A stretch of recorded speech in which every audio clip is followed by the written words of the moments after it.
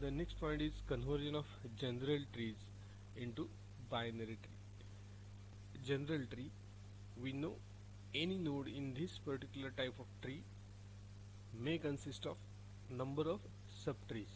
For example a root may have 1 2 3 4 and so on.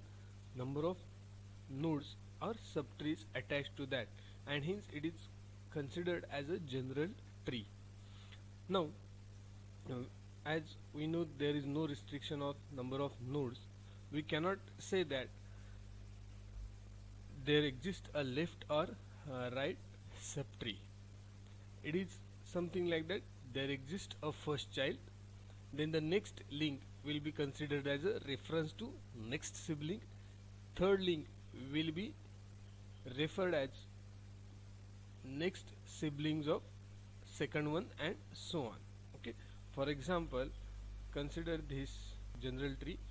8 9 10 so these are three different uh, subtrees which are attached to 4 now 8 is the first child.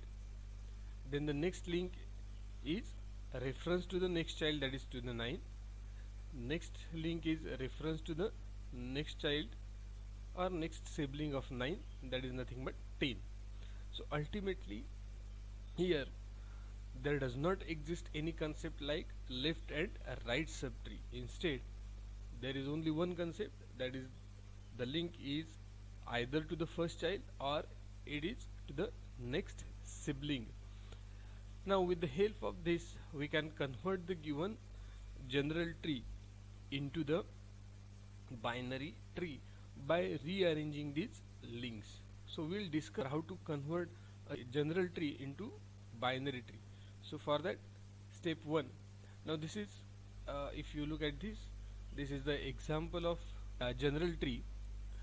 A b c d. So b c d are the subtrees of a. Then e and f are subtrees of b. G h and i are the subtrees of d. So whenever such a tree is or general tree is in front of us we'll first of all find out all the branches which are emerging from the root and going towards the leftmost child okay? So ultimately from A to B then B to E and D to G.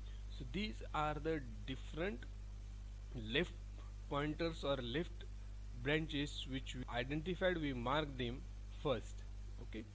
Then in the next step we will find out all the siblings for a particular node okay?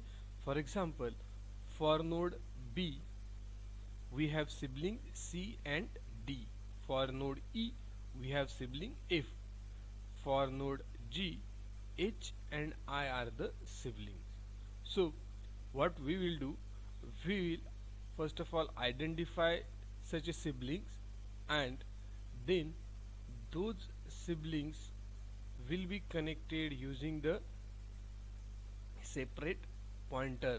Okay in future this separate pointer become the right pointer to the mm, subtree. So we will connect B to C C to D then E to F G to H and H to I.